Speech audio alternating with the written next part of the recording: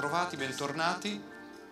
Ehm, Paolo Peraro, eh, uno dei fondatori di UCU, un'agenzia che si occupa di progettare esperienze, si occupa di innovazione, ci parlerà dell'era della comunicazione molecolare. Ancora una volta ritorna questo tema che eh, abbiamo visto stamattina, abbiamo visto anche ieri, proprio di questa frammentazione di fronte alla quale eh, ci troviamo, ma emerge anche la necessità poi di collegare, di trovare dei link, di trovare del, un senso anche all'interno di, eh, di questi panorami contemporanei. Vediamo dal punto di vista della comunicazione con Paolo cosa sta succedendo.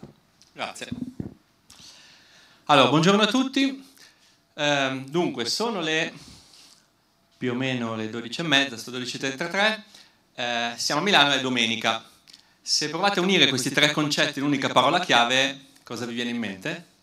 Domenica, Milano, ora di pranzo, il brunch, no? No.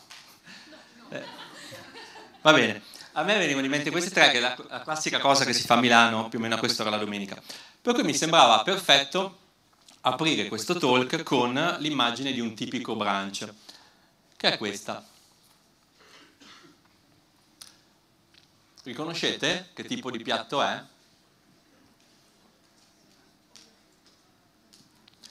Questo è proprio un, un classico brunch straniero. Sono uova e bacon.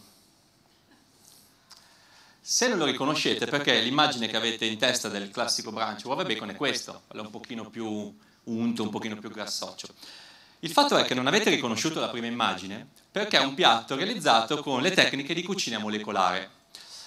Allora, non sono esperto di cucina molecolare e questo talk non parlerà di cucina, come magari qualcuno pensava, eh, però succede che tempo fa stavo guardando, facevo un classico zapping in tv e capitai su un documentario che parlava di cucina molecolare.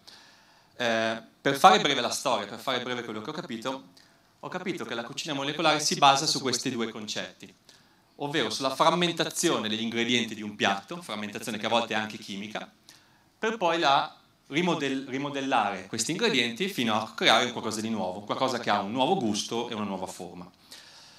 Vedendo questo documentario e capendo questi due concetti ho detto, caspita, questo è esattamente quello che io ho in mente, la mia visione attuale di quello che sta succedendo nel mondo della comunicazione.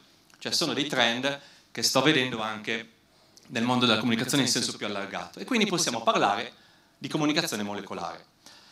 Allora, comunicazione molecolare, prima di tutto parla di frammentazione.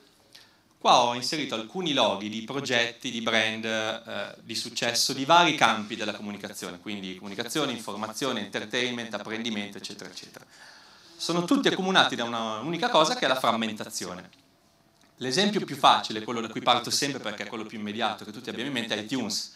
Ha rivoluzionato il mondo della musica come? Frammentando il prodotto. Una volta eravamo abituati a comprare l'album, 10-15 pezzi, iTunes ci ha insegnato a comprare la singola canzone. Frammentazione anche nel mondo della serialità, House of Cards.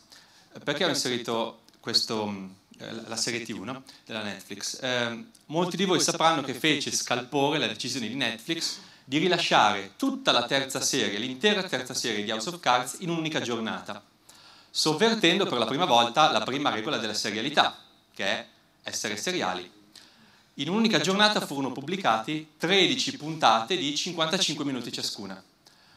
Tecnicamente parlando, se ci pensate, è come se avessero rilasciato un lungo film di 13 ore. Ma ovviamente sarebbe stato impossibile, non solo dal punto di vista tecnico, ma soprattutto dal punto di vista della fruizione, pubblicare un unico video di 13 ore. E quindi hanno deciso di frammentare. C'è un'altra cosa dietro a questa scelta della Netflix, di cui parleremo più avanti. Hanno dato una grande possibilità all'utente, la possibilità di decidere da solo il ritmo di fruizione, ovvero ci può essere qualcuno che decide comunque di tenere una certa cadenza tra una puntata e l'altra e c'è invece chi decide di spararseli tutti in un weekend con il binge watching, eccetera, eccetera. Frammentazione vuol dire anche rendere contenuto frammentabile. Uh, X Factor. Ho scelto X Factor perché è un format che va tanto in tanti paesi del mondo con tanto successo. Gran parte del successo di X Factor è proprio la sua frammentabilità, ovvero viene creato come un prodotto unico, uno show serale fatto di un presentatore che tiene le fila più X performance.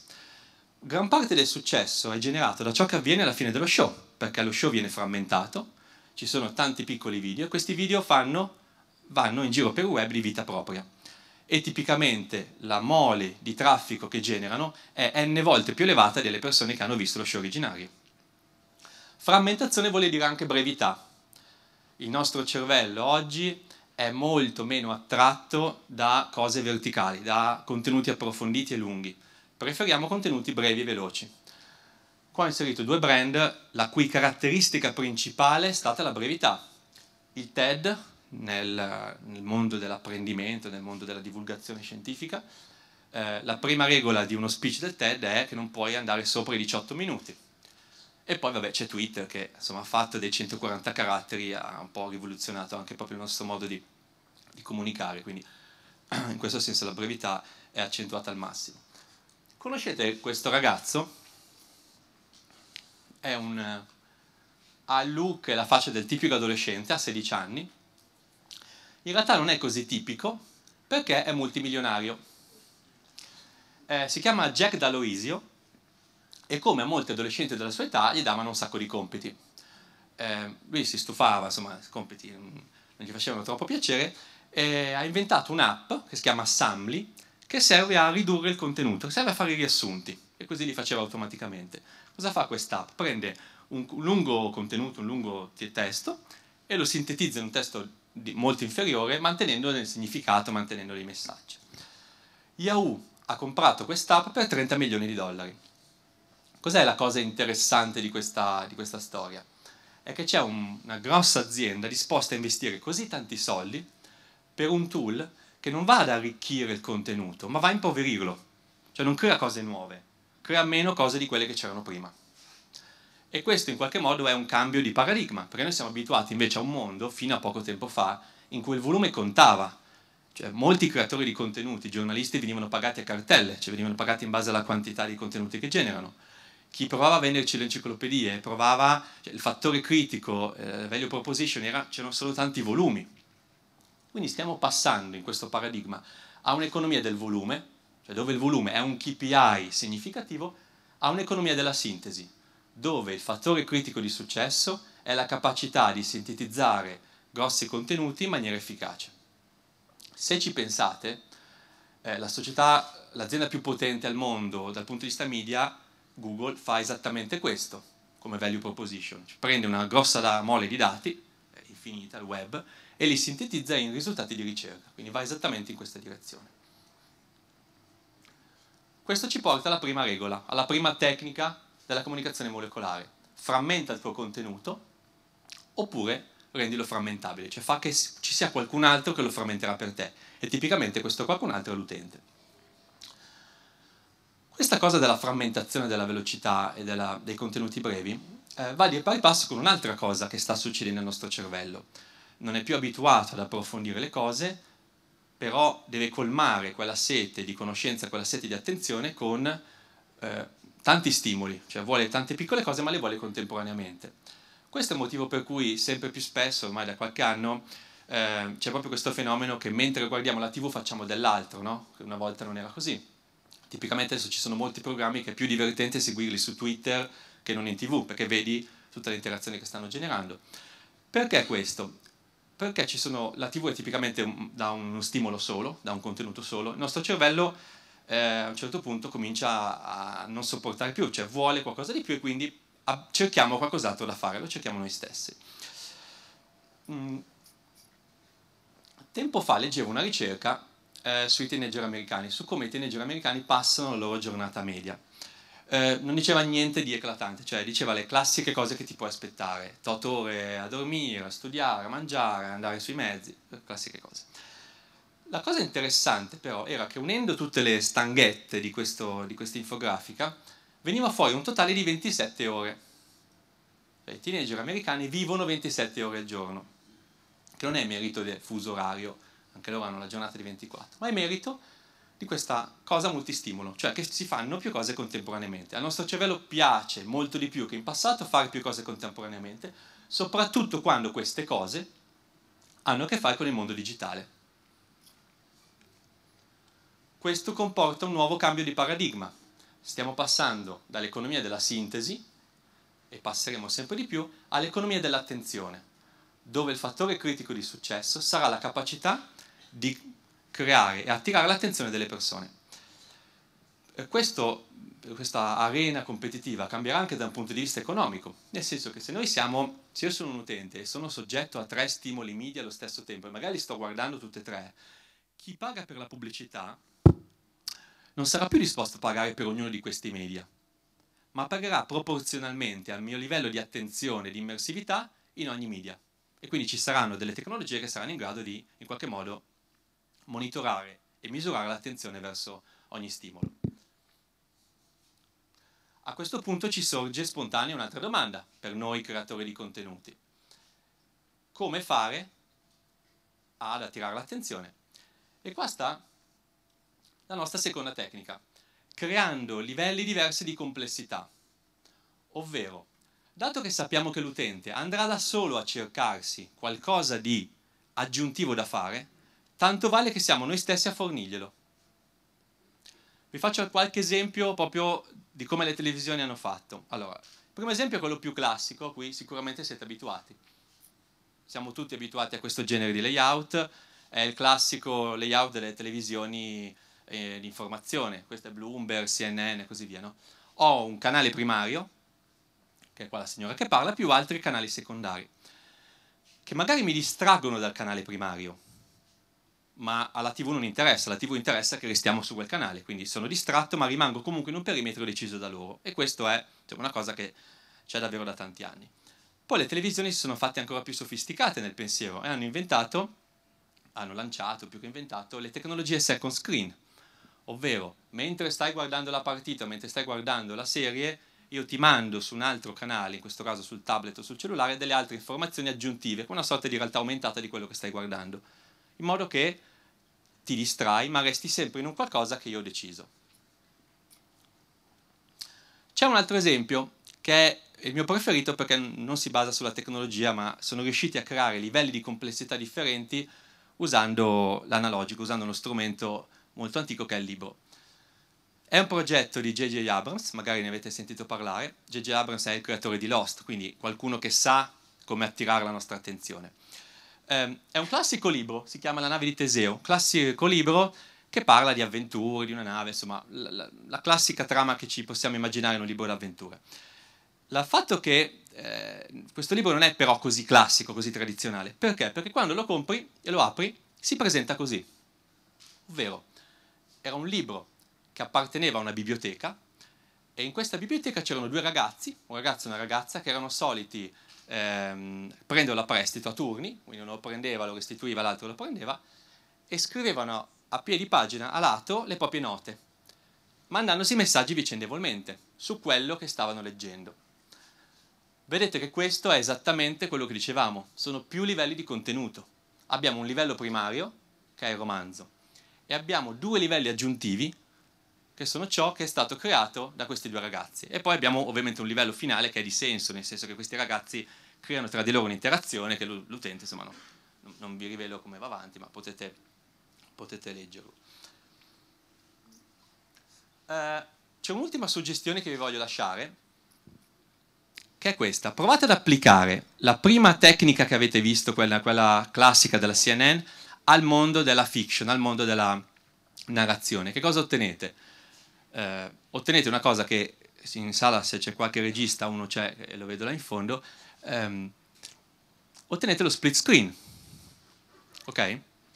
Eh, che da annissimi, questo è uno degli, dei primi split screen utilizzati al cinema, è un, film si, un cortometraggio che si chiamava Suspense, eh, sono delle tecniche che usano i registi o i montatori per farci vedere quando succedono più cose contemporaneamente. Ultimamente vediamo delle forme di split screen un pochino più evolute, tipo in 24, la serie è quella che si svolge tutta in tempo reale nel giro di 24 ore, dove a un certo punto succedono più cose contemporaneamente. Ora, io credo che in futuro questa cosa sarà ancora amplificata, ovvero ci abitueremo o avremo bisogno di vedere alcune narrazioni, alcuni film, in cui magari succedono due cose. Immaginatevi uno split screen, una parte dello schermo racconta la storia dal punto di vista del protagonista, del buono, dall'altra parte dello schermo racconta la storia dal punto di vista del cattivo, con anche i dialoghi che è una cosa che oggi diciamo no, ma mi viene mal di testa. Fra un po' di tempo il nostro cervello forse sarà in grado di gestirlo e anzi ne avrà bisogno per non annoiarsi eccessivamente. Tecnica 3. Dai all'utente delle possibilità. Cosa intendo dire? Intendo dire che c'è una differenza forte tra l'utente della cucina molecolare e l'utente della comunicazione molecolare. Perché l'utente della cucina molecolare è contentissimo di stare rilassato, cioè si siede al tavolo, eh, ordina le, l'unica interazione che ha magari è scegliere nel menù e poi insomma gode, si gode la cena preparata. Per fortuna o, o, o, per sfortuna, non so, dipende dai punti di vista, l'utente della comunicazione molecolare non vuole stare rilassato, cioè vuole un ruolo attivo nella creazione di contenuti, cioè vuole entrare in cucina e a mettere mano alla ricetta. Quindi la terza tecnica va esattamente a colmare questo bisogno diamo all'utente delle possibilità, tanto se le prenderà comunque. Ho alcuni esempi da farvi vedere, qua si parla di interazione. Um, oggi in questo talk esplicitamente non parlo di videogiochi, eh, perché se ne parla già tanto in altri mondi e sarebbe in, altre, in altre situazioni di questi due giorni sarebbe anche troppo ammiccante, no? è, è troppo facile. Perché? Perché se notate tutte queste tecniche sono in qualche modo mutuate dal mondo del gaming. Eh, l'interazione nel mondo del game è, è, è la centralità di ciò che succede in un videogioco. Vi faccio vedere un esempio che ehm, è un esempio legato a fiction, fiction interattive. È una cosa che girava anche tanto su Inter, su, su, sui social tempo fa, magari lo, lo conoscete. Eh, è un video, quindi magari la regia mi può mandare il primo video. 13th Street, the channel for thrillers, horror and crime. The challenge, the audience should experience horror as never before. The idea, the first interactive horror movie in theaters.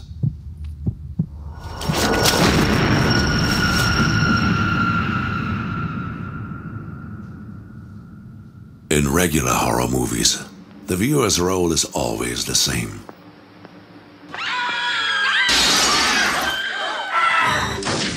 With 13th Street, the horror film becomes an interactive thrill. The viewers play their own part and are able to communicate with the protagonist. We developed a software that allows for such a dialogue via voice recognition. A flyer invites viewers to send their phone numbers to a speed dial database.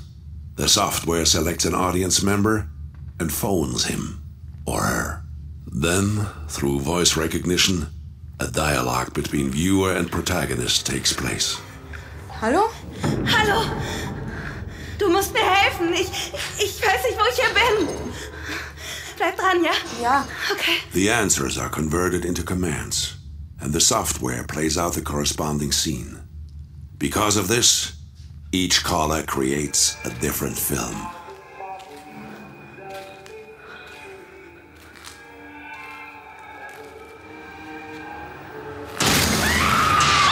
Not only do the viewers hear the protagonist's voice on the phone, they experience her steps, her breathing, her entire fear up close and parallel with the film. Links oder rechts? Links. Soll ich rauf oder runter? Runter. Hör zu. Da unten ist jemand. Dann geh hoch. Okay.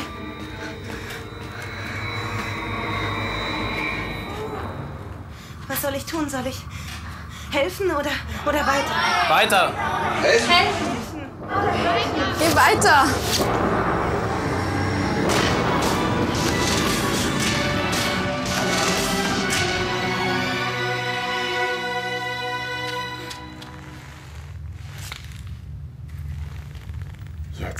Du dran. Ich hab ja deine Nummer. Scheiße. Wir brauchen ein neues Handy. The film hit its target audience exactly film lovers at cinemas and festivals. Last Call captured absolute attention, aroused enthusiasm, and effectively demonstrated the standards of 13th Street.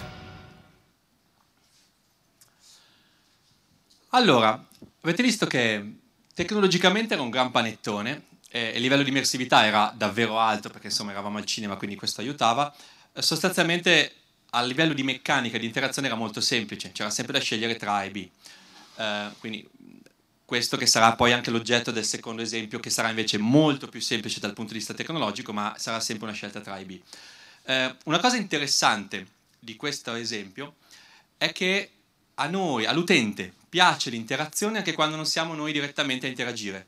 Cioè, in questo video esempio ci piaceva, c'era una sola, più persone del cinema, però poche persone del cinema chiamate a interagire, ma il vedere magari quello accanto a te, quello alla fila davanti che interagiva, ci piace molto. Così come una volta ci piaceva, e penso a, a chi, ha, um, chi, era abituato a gio- videogiocare al bar, ricordate com'era il setting? C'era uno che videogiocava e altri nove attorno che guardavano, esatta, va esattamente in quella direzione lì. No? Um, il secondo esempio è molto più semplice, me- tec- non tecnologicamente ma come meccanica. Era uno spot eh, un video spot, anche questo magari l'avete visto perché ha vinto premi, insomma è stato, ha girato molto socialmente, eh, della Honda che lanciava la nuova Honda R. Ehm, ed era un video interattivo in cui quando premevi la R la storia cambiava. Ve lo faccio vedere e poi ne parliamo. Lanciamo il video 2.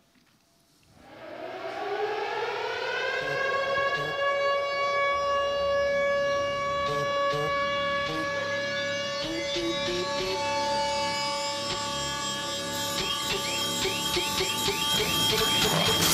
you.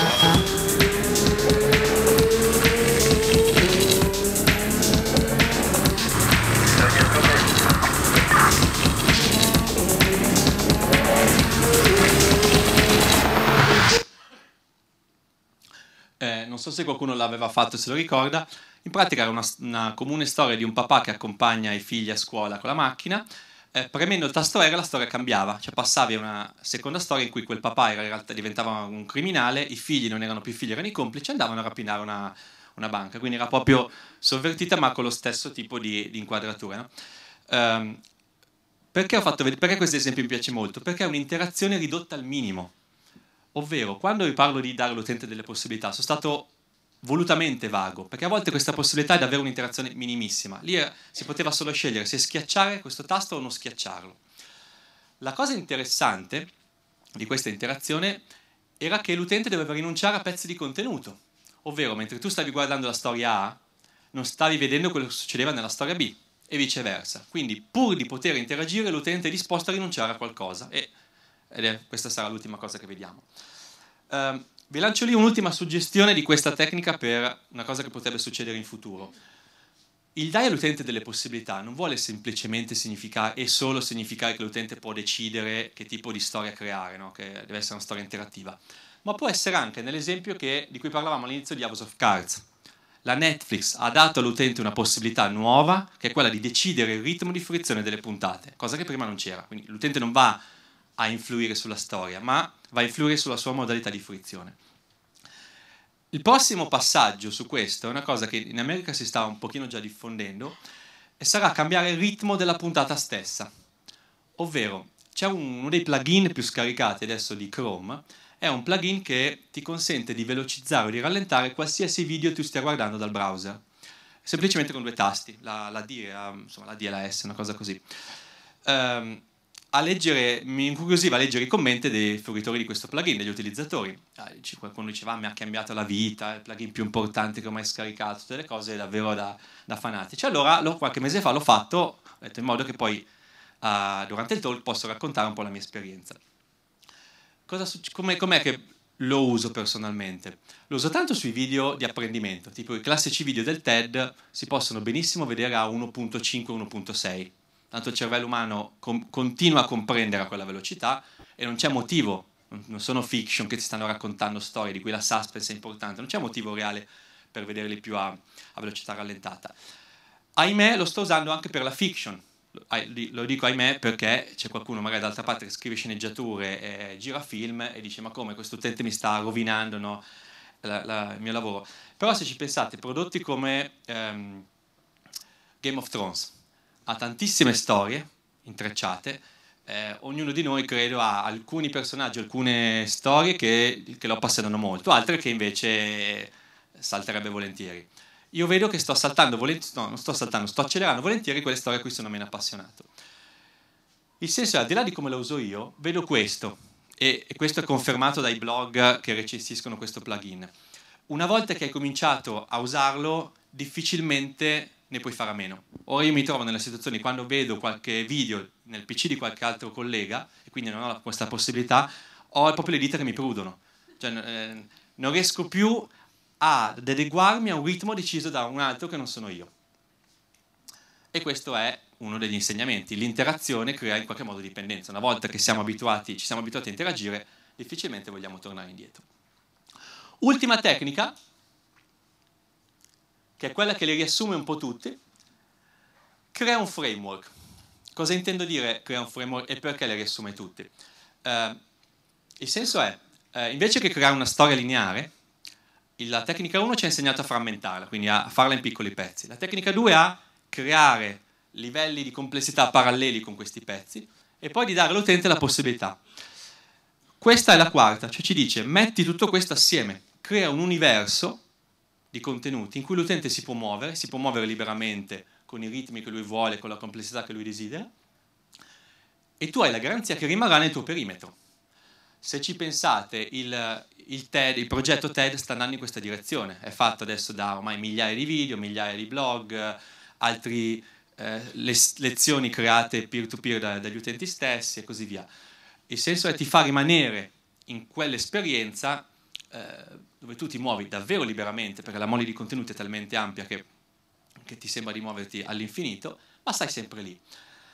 Faccio un accenno ai videogiochi, anche se avevo promesso di non farlo, però è proprio collegato. Questo, ad esempio, è il motivo per cui ultimamente vanno tantissimo i videogiochi eh, con i mondi aperti, cioè i mondi dove hai la sensazione di, poterti, di, poter scegliere quello che vuoi, non qualcosa che è stato definito dal game designer. Poi sappiamo che invece non sono mondi aperti all'infinito, sono, ti muovi comunque in un perimetro che qualcuno ha deciso per te. Vi faccio vedere un esempio, un esempio molto bello che va proprio in questa direzione.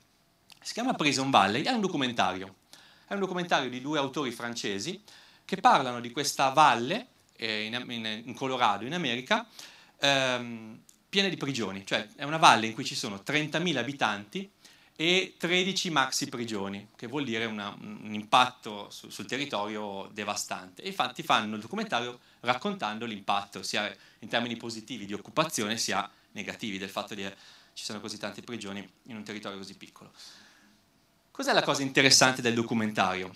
È che è stato fatto forse con questa tecnica, nel senso che invece che fare il documentario nella forma classica, ovvero eh, raccolgo il materiale, poi lo metto insieme, eccetera, gli autori hanno deciso di mettere online tutto quello che avevano trovato in forma grezza, frammentandolo. Loro hanno messo online eh, tutte le interviste, hanno messo online eh, le audio interviste, le statistiche, le infografiche, tutto ciò che hanno trovato, in una forma che prende questo aspetto. Ovvero è una cosa che eh, si usa una, via, è un, è un portale sostanzialmente, quindi si usa navigando in HTML, quello che tu vivi è quello che loro vissero quando fecero la ricerca, cioè tu ti muovi, il tuo punto di partenza è la stanza del motel, che era la stessa stanza del motel che loro utilizzavano, ti puoi muovere liberamente in giro per la valle, scegliendo la strada che vuoi, incontrare delle persone che desideri, quando incontri le persone puoi fare le interviste, quindi ti vedi il video, ti senti l'audio che loro avevano registrato, puoi accedere ai documenti e puoi accedere liberamente a tutto. Come effetto succede quello che prima è stato detto nel video Last Call. Eh, ogni utente vive un'esperienza diversa, quindi il documentario non è più lineare ma è destrutturato, ognuno si vede la sua. Come suggestione finale di questo esempio, eh, ve la provo a, a lanciare, provate a vedere, a immaginare cosa può succedere con questa meccanica, con questa tecnica di creare un framework, con un prodotto che non è un prodotto documentaristico, ma è un prodotto di fiction. Ovvero provate ad applicare questa tecnica su una fiction, ad esempio Game of Thrones, dato che l'abbiamo già citata, e ci piace molto anche questo personaggio. Questo è un personaggio su cui non vado avanti veloce, ma lo, lo, lo, vedo, lo vedo bene. Cosa vi immaginate? Io mi immagino una cosa del genere. Come la modalità multivision di Sky, dove sai quando puoi passare da una partita all'altra passare da un'inquadratura all'altra del, del circuito, e quindi una situazione di questo tipo. Ho un mondo aperto, ho tutta la mappa del trono di spade e le cose avvengono in contemporanea, come proprio nella narrazione reale, e io posso decidere dal telecomando dove focalizzare la mia attenzione. Quindi posso scegliere cosa vedere, come spostarmi, eccetera. se ci pensate è molto simile all'esempio che facevo prima di 24, dove hai lo split screen, ma qua l'utente ha una possibilità in più, ha la possibilità di decidere, mentre prima lo split screen era deciso da qualcuno che aveva montato il video, mentre qua sono, è totalmente tutto nelle mie mani. Spunti per il futuro, questo era l'ultimo esempio. Suggestioni per il futuro, cosa potrà succedere? Allora, potrà succedere uno che queste quattro tecniche saranno amplificate, cioè queste quattro regoline le vedremo sempre di più in forma sempre accentuata. Esempio, oggi questo talk era di mezz'ora, uh, magari a qualcuno già mezz'ora sarà sembrata lunga, tempo fa eh, le classiche conferenze erano di due ore, ti invitavano, ti hai due ore, hai un'ora, adesso comincia a essere mezz'ora, al TED di 18 minuti, in futuro sarà sempre meno, probabilmente l'anno prossimo magari mezz'ora comincerà a starci stretta.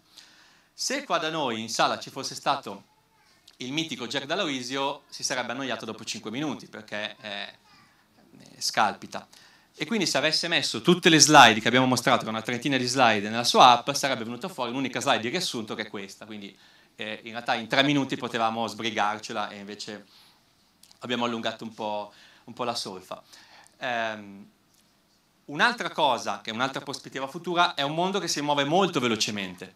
Per cui oggi queste cose possono valere, fra sei mesi potranno, qualcuna potrà non valere più, o magari tra un anno, quando ci ritroveremo alla prossima edizione de, di questo festival, magari ci saranno altre quattro regole che si sono aggiunte che oggi non vediamo e non vediamo questi tre. Questo è tutto.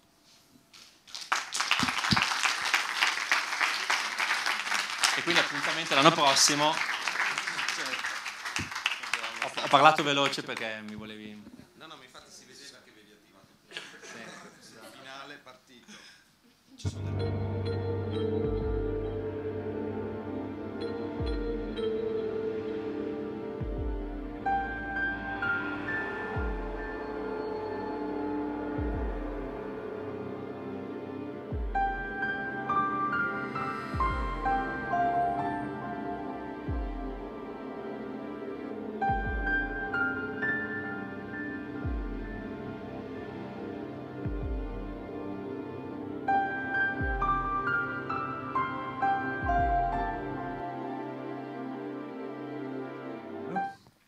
che comunica come questo tipo di interazione, il tempo di presenza della persona sulla pagina, il livello di frammentazione del contenuto, la sua personalizzazione, cioè in qualche modo come secondo te potrebbe essere interpretata da noi che dobbiamo poi sviluppare queste interfacce nel brevissimo termine, non nel medio, ma nel brevissimo. Grazie. Allora, eh, diciamo che queste cose si adattano ovviamente tanto al, al mondo web e anzi il mondo web è già da qualche tempo che sta, sta andando a colmare questo, questo, gap. Se ci pensate, se pensate ai siti di qualche anno fa e pensate ai siti di oggi, la, la principale differenza che vedo è che oggi c'è la navigazione, lo scroll verticale, lo scroll un, quello che si chiama no, la costruzione della, del, del, sito a una sola pagina. Eh, in parte ci sono anche meno contenuti che ieri, perché una volta, si, una volta proprio come nel caso delle enciclopedie, eh, ti sentivi figo se avevi il sito grosso, no? fatto di tanti click, fatto con un'alberatura. Adesso è esattamente il contrario. Quella cosa dell'una pagina, a volte la pagina si scolla davvero all'infinito, sono, è una pagina ma è un, un lungo scroll, quindi ci sono brand che non rinunciano a mettere contenuti. Però nella testa dell'utente quel fatto che sia una pagina è comunque un alleggerimento, quindi il fatto di non vedere sopra le cose va esattamente in quella direzione, cioè non ti spavento. Quando dico spavento è come quando apri un video di YouTube e vedi 9 minuti, eh, 20 minuti e hai quello spavento e dici no, allora, allora smetto. L'altra cosa che, stanno, che, ho visto che ultimamente si fa, se vedete i siti, quelli un pochino più moderni, eccetera, si aprono sempre con un video a tutta pagina. Il video che ti racconta l'azienda, ti racconta quel prodotto nel giro di 30 secondi. È proprio ormai un classicone delle, delle cose più moderne. Dopodiché tu puoi andare, so, cioè non è che ti lasciano lì, hai quella che è la prima impressione, poi puoi andare sotto ad approfondire, eccetera, che è esattamente la cosa dei livelli di complessità. È l'utente che si può, scegli- può scegliere se fermarsi lì o se andare avanti. Però il primo eye catching è proprio quello breve. No, ti devo raccontare le cose brevemente. Non so se ti ho risposto.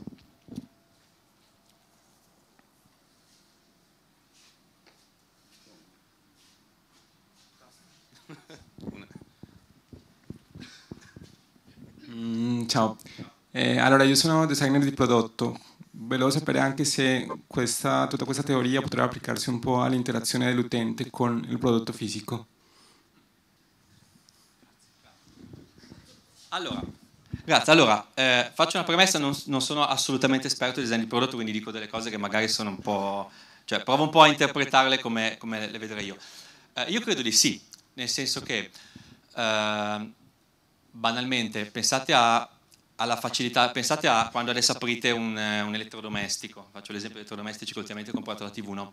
Ehm, una volta avevi le tante funzioni, quindi una elevata complessità, e quello era un fattore, un plus, cioè dice guarda fa, fa tante cose.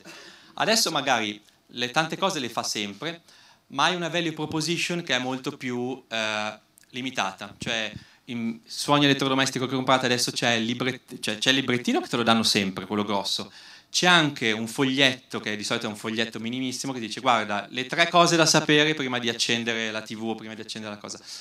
E questa cosa vedo che è molto non solo nel, nel design de, dei materiali a, comple, a, completamento del prodotto, tipo il foglio di istruzioni, ma anche nel design stesso. Cioè, io credo che un buon design di prodotto è fatto quando eh, la, capisci immediatamente la semplicità d'utilizzo e colma esattamente quello che tu, cioè ti fa capire esattamente quello che puoi fare in modo in cui volevi farlo. Quindi sì, eh, va esattamente in quel senso lì. Eh, dovrebbe, e, se, e, se, non è così dovremmo allinearci, insomma. Io mi chiedo se eh, lei sa comunicare in maniera corretta. È una provocazione. Per, mh, mm, lei eh, immediatamente mi parla di branch. A questo punto mi chiedo, no, questo signore non capisce molto perché il branch inizia dalle 10 e finisce alle ore 14. E poi eh, mi sviluppa tutto questo suo eh, ragionamento. Pertanto forse è il caso di conoscere la terminologia giusta per le cose e poi a questo punto svilupparle come lei ritiene giusto di farle. Però inizialmente il concetto branch mi fa cadere tutto ciò che è la sua comunicazione. Allora, non sono sicuro di aver capito la domanda. Eh, no, forse non c'era. Eh, non ho capito davvero perché il branch non è coerente, nel senso siamo dalle 12 alle 14 e diceva dalle 10 alle 14 sono le 12. Il branch inizia alle 10 e termina alle 14. Il lancio, una qualzone di lavoro, inizia alle 12, 12.30 e termina alle 15. Cioè è un aspetto cronologico, si dà un nome giusto a un aspetto cronologico di servizio, pertanto un breakfast è una certa ora, un brunch è un'altra ora il, la cozzone di lavoro, un lunch è un'altra ora ancora, il dinner è un'altra ora ancora. Lei non può confondere che alle 12.30 si sviluppa un brunch, quando invece si sviluppa dalle 10 del mattino fino alle 15. Lei vuole stravolgere... Com- no,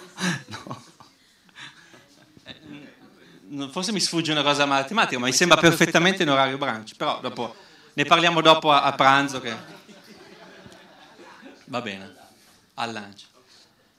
Va bene, se c'è qualche altra, se c'è qualche altra parola che ho sbagliato dite. Sì, ok. Allora sì.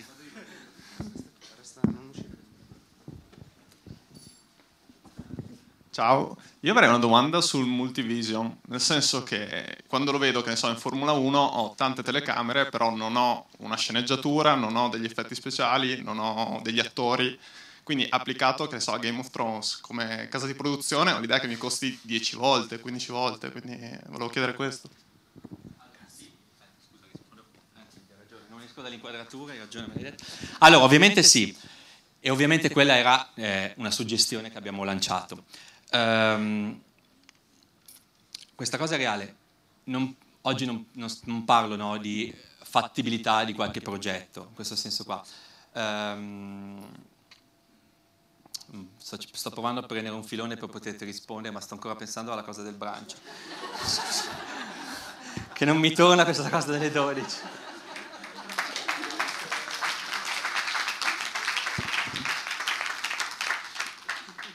No, diciamo, scusa, adesso torno un attimo sulla tua domanda. Allora, è vero, eh, non vuole avere necessariamente un'applicazione reale adesso e eh, con le tecnologie che abbiamo oggi e con il processo produttivo che abbiamo oggi sarebbe impensabile, perché lì vuol dire che hai il costo di sei puntate per magari farne solo una, quindi capisco che adesso no, non sarebbe realizzabile. Uh, magari lo sarà tra poco perché magari cambierà qualche tecnologia, oppure immaginatelo, immaginatelo non applicato a Game of Thrones ma applicato al mondo dell'animazione, quindi magari delle cose che sono un pochino più scalabili. Per me era davvero una provocazione, non una suggestione, quindi, non, quindi... Io mi chiedo se sei sicuro che non ci sia una sceneggiatura, che non ci siano gli eroi, che non ci sia una storia anche nella Formula 1. Secondo me c'è anche lì. Probabilmente fanno il giro, il giro opposto, nel senso che costruiscono poi la narrazione in modo che sia eh, entusiasmante, attraente, eccetera, eccetera, come Game of Thrones, mentre Game of Thrones nasce. Cioè, è il reale che viene trasformato in storia, mentre Game of Thrones è, Game of Thrones è la, una sceneggiatura che deve sembrare qualcosa di vero, però ci sono molte similitudini secondo me. C'era ancora una domanda? Sì, no, mi sentite anche senza microfono? Non mi piace il microfono. Ah, ok. Va bene, va bene, va bene, Paolo. Eh, no, io volevo invece rispondere a quell'altra provocazione, visto che ci siamo eh, così. No, mi diverte, no, no, mi diverte estremamente perché occupandomi de, di, di, comunicazione, eh, affrontare o comunque capire come si sta trasformando non è eh, una sfida semplice, eh, perché appunto anche il brunch è un nuovo format, tra virgolette, che qualcuno si è inventato a scapito del pranzo e della colazione. Eh, per cui ogni nuova tradizione è un tradimento nell'etimologia del termine. In più mi verrebbe da dire se alcuni elementi base non cambiano mai, l'alfabeto non cambia, la grammatica sì. Se io penso come comunico su WhatsApp, eh, vuoi uscire con me stasera? No, punto. Ah, ma sei incazzata? No, no, no. Se metto il punto fermo, uno eh, ha cambiato anche il modo di intendere eh, quello che uno dice. Quindi ci sono alcune cose che cambiano, altre che non cambiano. Probabilmente la sfida eh, di chi si occupa di comunicazione è proprio capire quelli che sono poi gli elementi fondamentali eh, e immutabili e eh, diciamo così come cambiano invece le carrozzerie eh, della comunicazione, come cambia la, la, forma. Io penso alla trasformazione che ha avuto la serialità televisiva e mi, mi sento allineato con, con, quanto diceva Paolo, eh, o anche i factual, tutti i factual nascono co, con il digitale perché devono essere distribuiti. È cambiata la grammatica di fare televisione, è cambiato il modo di fruire televisione. Quindi adesso pure il brunch è una cosa nuova eh, che, che, che va capita. Si tratta appunto di mettersi lì a discutere intorno a un tavolo e capire cosa è cambiato e che cosa no, che cosa possiamo tenere di buono. Eh, non so se ho risposto appunto, perché poi mi stimola e, e mi provoca sta roba. Vabbè, credo che abbiamo capito che l'anno prossimo dobbiamo fare un talk sul brunch. Cioè la domenica facciamo, faremo il brunch talk. Attenzione all'orario però. Esatto, esatto. Sì, che poi bisogna dire anche che il brunch milanese non è il brunch, eh, diciamo, filologica originario. Ecco, diciamo che ha incontrato un genius loci un po' diverso ed è stato adattato, chiaramente. Ancora domande? No, mi fanno dei segnacci tremendi. Velo- dai, l'ultima, velocissima, basta che non sia sul brunch. No, la mia domanda è sulla questione comunicazione, cioè se l'utente decide lui che cosa vuole vedere, che qua, anche il messaggio se lo autodecide, quindi dove va a finire la comunicazione tra l'autore e il fruitore? Allora, va a finire in una disciplina eh, che è il design delle scelte, choice design. Uh, chi crea contenuti non farà più il creatore di contenuti classico, ma disegnerà scelte, cioè metterà l'utente nelle condizioni di fare delle scelte che sono più o meno a lui proprie ehm, e questa sarà l'interazione.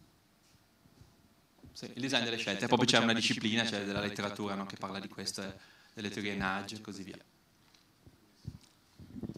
Bene, poi, grazie Paolo, grazie davvero, grazie a tutti anche per l'interazione che ha sviluppato nuove narrazioni anche all'interno all'interno di questa sala. Visto che l'argomento vi interessa tantissimo, adesso ci andiamo a mangiare un panino alle due.